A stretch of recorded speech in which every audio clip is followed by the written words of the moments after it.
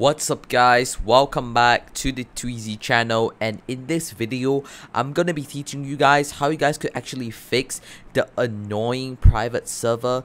You can't join this experience, you don't have permission to join the private server um, error.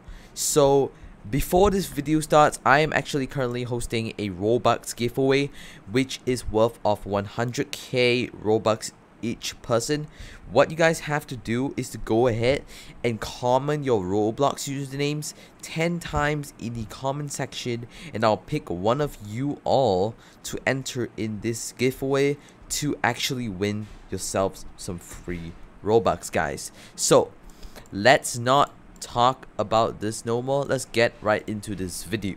So how to fix roblox you don't have permission to join private server.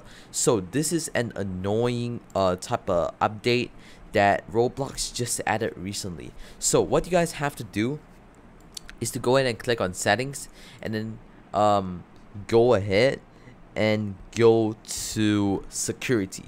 So after that, when you guys are on uh, settings, go ahead and click on privacy. Sorry. So you guys will see a bunch of um, settings right here guys. What you guys have to do is to go ahead and choose who can invite me to private servers and click on everyone and who can join me and experience everyone. So that's basically it to how to fix this uh, error on Roblox. I know it is kind of annoying.